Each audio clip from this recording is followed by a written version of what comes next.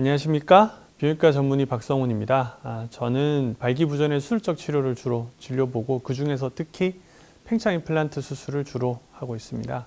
팽창형 임플란트의 정의와 목적에 대해서 말씀을 드릴 텐데 먼저 말씀드릴 게 팽창 임플란트는 아마 대부분 들어보신 적이 없을 거예요. 굉장히 생소한 치료일 텐데 하지만 널리 알려지지 않은 사실 중에 하나가 우리나라가 이 수술이 전 세계에서 두 번째로 많습니다. 미국 다음으로 많고요. 그럼에도 불구하고 진료 보는 환자분들 중에서 절반 이상이 처음 들었다 이렇게 얘기하세요. 최근에 처음 들었다 이렇게 얘기를 하세요. 그래서 이제 팽창 임플란트란 치료의 정의는 발기부전의 수술적 치료를 위한 기구인데 수압을 담당하는 이 실린더 그리고 이걸 조작하는 펌프 그리고 그 용액을 저장하는 물주머니 이 세 가지 구성으로 되어 있는 발기부전의 수술적 치료를 위한 임플란트가 팽창형 임플란트의 정의입니다.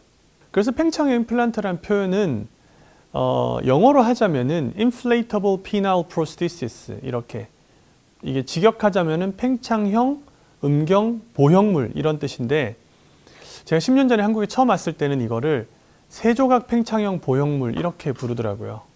세조각 팽창형 보형물이라는 게 아까 말씀드렸다시피 펌프, 실린더, 물주머니 세 개가 있잖아요. 그래서 세조각 팽창형, 그러니까 팽창하는 형태의 임플란트 이렇게 부르고 있었는데 말 표현이 너무 어려운 거예요.